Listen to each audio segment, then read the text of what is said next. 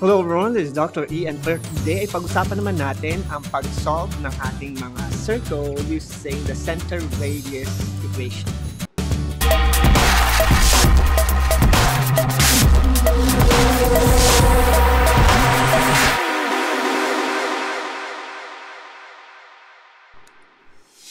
Sa geometry, meron tayong tinatawag na analytic geometry kung saan ang popular na topic na sinusolve or sinusolve natin dito ay yung conic sections. At for today ay pag-uusapan naman natin kung paano tayo mag-solve ng mga problems involving circle na kung saan kailangan nating isulat ang kanyang equation using this formation or notation. So ito yung tinatawag nating uh, center radius equation na kung saan yung ating equation ay given by this formula, x minus h squared plus the quantity of y minus k squared equal to the radius square.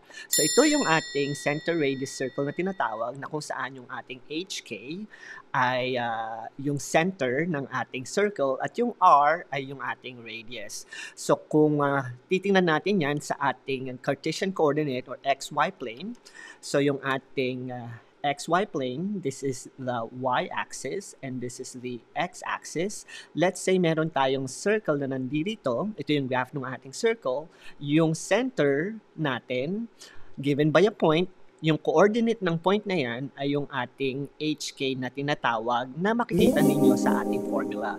At yung radius natin, yan yung ating distance ng ating center to any of the point on the circle. So ito yung ating length or yung ating radius at mahalaga na meron tayong center which is at HK at yung radius natin which is given by a numerical value sa pagsulat ng ating equation or standard equation ng ating circle. So let's say meron tayong problem na kung saan kailangan daw nating isulat yung standard equation of the circle with the center of 5, negative 2, and the radius of 7. So dito sa ating equation na yan, kailangan lang natin alamin yung ating mga ingredients to write our equation of a circle. So, syempre, dito, given tayo ng center, which is equal to 5 and negative 2, at given tayo ng radius, which is given by 7. So, ito yung ating length ng ating radius. Now, sa pagsulat ng standard equation ng circle, ito ang formula na gagamitin natin na nakasulat na dito sa ating board kung i-graph natin yung ating uh, circle, makipapansin natin sa xy plane. So 5 and negative 2 is 1, 2, 3, 4, 5. And negative 2 is 1, 2. So andito yung ating center. So pag sinabing 7 units yan, so ibig sabihin, bibilang kayo ng 7 units pataas, 7 units pababa, 7 units pa kanan, at 7 units papunta sa kaliwa at mabubuo nyo na yung inyong circle na tinatawag. Now, sketch lamang ito at hindi ito up to scale. So, uh, yung ating uh, coordinates ng ating mga points dito ay hindi accurate. So, ito lang yung ating idea. So, ito yung ating circle at gagawa natin yung kanyang equation. So, dito, kailangan natin yung equation natin na x minus h squared plus y minus k squared is equal to r squared. So, ang gagawin nyo lang dito is basically, papaltan nyo yung h, papaltan nyo yung k, at papalitan nyo yung r ng ating equation. So, to uh, be able to do that, gagamitin natin yung given value natin. Ito si h at ito si k. So, si h is 5. So, this is 5 at si k ay negative 2, so this is negative 2, at si r ay 7, so ito na ngayon yung ating standard equation ng ating circle, but we need to simplify it further, and to do that, this, we don't need to uh, do any changes here, so it's going to be x minus 5 squared, plus this, y minus minus 2 is positive 2, so that means y plus 2, yung ating second term, square, equal to 7 squared, which is equal to 49. At ito yung tinatawag nating center radius equation or standard form ng equation ng circle gamit yung ating formula. So madali lang kung uh, uh, binigay sa atin yung center at radius sa problem dahil ang gagawin lang natin is kunin si h, kunin si k, kunin si r, which is yung ingredients na kailangan natin to write the formula, which is x minus h squared plus y minus k squared is equal to r squared. At paltan lang natin yung h, k, and r. And to simplify our equation, our standard form will be x minus 5 squared plus y plus 2 squared equal to 49 which is the same as what we have here dun sa ating equation. So yan, at ganyan lang kabilis yung pagsulat natin na equation ng circle given the radius and the center. Now, paano naman kung hindi ganon yung given information dito sa ating problem. So in this second problem, what is the standard equation of the circle with the center at 1 and negative 3 that passes through the point 2, 2?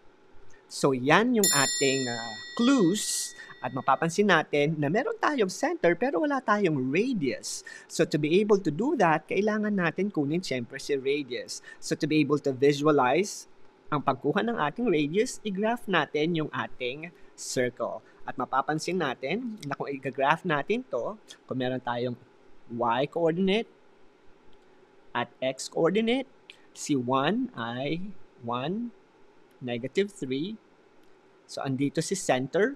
Si center natin ay 1, negative 3. At yung point natin na 2, 2, 1, 2, 1, 2. Ito si 2, 2. So, ibig sabihin yan, meron tayong circle na nagpa-pass through that point. So, kung i-sketch natin yung ating circle, it will look something like this. Again, this is not an accurate representation of our circle, but just to visualize kung paano natin kukunin ang line na yan. At yung line na yan, yan yung tinatawag natin na radius. So sa radius na yan, kukunin natin yan using the distance formula.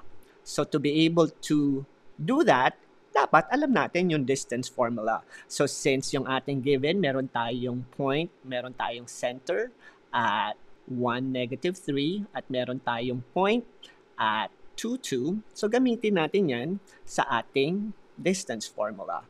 So ito yung ating x-coordinate at ito yung ating y-coordinate at ang ating distance formula is equal to the square root of the difference of x squared plus the difference of y squared. So ano ba yung difference? Ang difference, kukunin nyo lang yung difference ng 1 and 2 at difference na negative 3 and 2.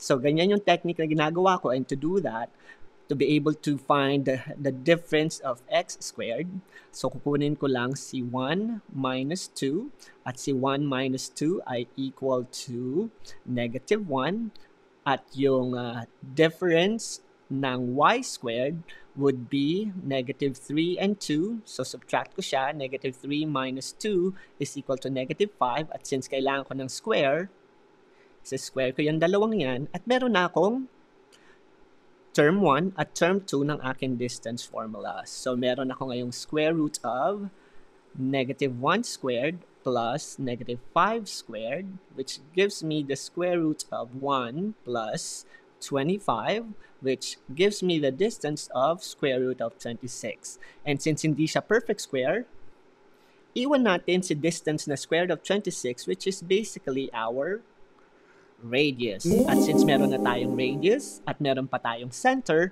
pwede na nating isulat yung ating equation ng circle. So, isulat natin yung ating radius para meron tayong space.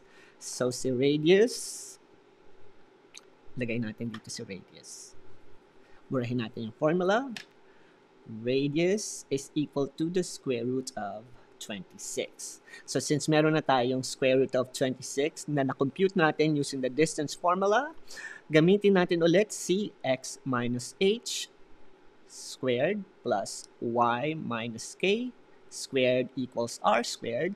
And in this case, kailangan nating paltan si h, paltan si k, at paltan si R kasi meron na tayong H which is from the center HK 1 and negative 3 so 1 and negative 3 and r which is square root of 26. Now ito ito na ngayon yung ating standard equation pero kailangan natin siyang simplify. So, hindi na natin to kailangan simplify dahil simplest form na siya ng ating equation. So, meron tayong x minus 1 x minus 1 squared plus y minus minus 3 is y plus 3 equal to the square of square of 26 is simply 26 dahil ang uh, square ng square root of 26 is square root of 26 times square of 26. So we know that to square it, tatanggalin lang natin yung ating square root. At ito na ngayon, yung standard equation ng ating circle na tinatawag. So ito yung ginamit natin, yung distance formula gamit ang center at yung point. So, nakuha natin sa square root of 26 na nakikita natin dyan at na-solve natin kanina using the difference of n, x and the difference of y. And then, use the standard equation para ma-change natin si h, k, and r.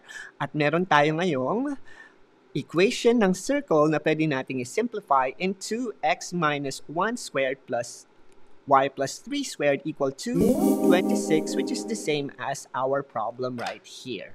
At yan yung ating equation ng circle gamit yung ating center radius equation or center radius form or also known as standard form of our equation of a circle. So, paano natin uh, gagamitin yung mga yan? Kailangan alam natin yung formula at na-visualize natin yung circle given by a graph. At yan ang ating lesson for today.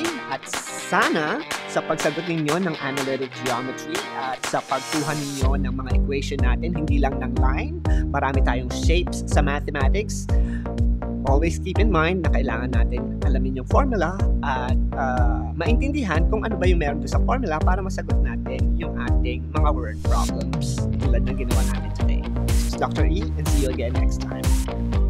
Bye!